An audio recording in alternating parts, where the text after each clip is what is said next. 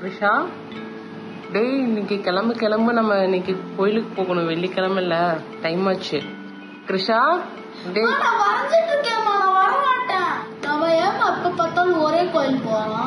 ஏய் கிருஷா இன்னைக்கு நான் வேற கோயிலுக்கு கூட்டிட்டு போறேன்டா. அங்க பொங்கல் இருக்கும்.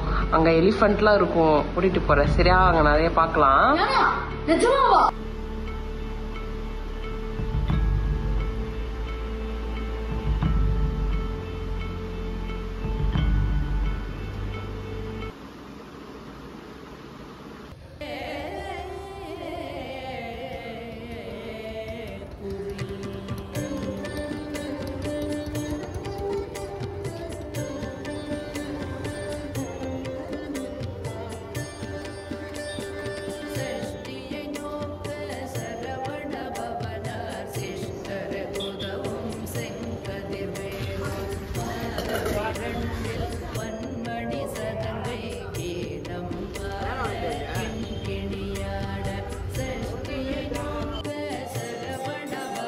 ஐ யானை யானை. அம்மா அங்க பாருக்குப்பா யானை. அம்மா யானை கால்லாம் வலிக்காதா? செயின்லாம் போட்டிருக்காங்க அது கால் வலிக்காதா? யானைக்கு யானை ஃப்ரெண்ட்ஸ்லாம் இருக்க மாட்டாங்களாம்மா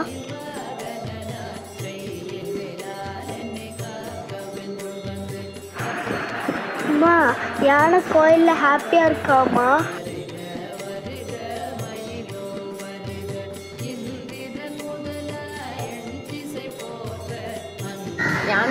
ஹாப்பியாக தான் இருக்குண்டா இதை பார்த்துக்க நிறைய பேர் இருக்காங்கல்ல உனக்கு ஏதாச்சும் டவுட்னா நீ ஹரிமாமுக்கு ஃபோன் பண்ணி கேட்குறேன் ஓகே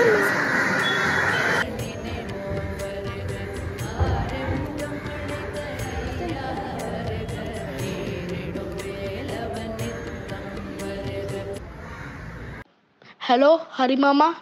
நான் கோயில் போயிருந்தேன்னா அங்கே யானை பார்த்தேன். ஹலோ ஆ சொல்லு கிருஷா. ஓ இன்னைக்கு யானை பார்த்தீங்களா? சரி சரி. உங்கள் ஃப்ரெண்ட்ஸ்லாம் எங்கே இருப்பாங்க? யானையோட ஃப்ரெண்ட்ஸ் எல்லாம் மற்ற யானைங்க தானே? அது எல்லாமே காட்டுக்குள்ளே தான் இருக்கும். ஏன் யானையை காட்டில் விடக்கூடாது? கோவில் யானை வந்து கோவிலில் தான் கிருஷா இருக்கும். சாமி கும்பிட்றவங்கலாம் அதுக்கிட்ட வந்து ஆசீர்வாதம் வாங்குவாங்க. ஏதாச்சும் ஃபெஸ்டிவல் நடந்தால் சாமியை வந்துட்டு யானை மேலே தான் தூக்கிட்டு போவாங்க. அதை நம்ம காட்டுக்கெல்லாம் கொண்டு போக முடியாதுடா. To find answer to the questions, I started collecting the dung samples of temple elephants, privately owned elephants, and forest department managed elephants. After the sample collection, I started analyzing the samples in Pune. The results show that privately owned elephants have highest stress levels. Then comes the temple elephants and forest department managed elephants have the lowest stress levels among these.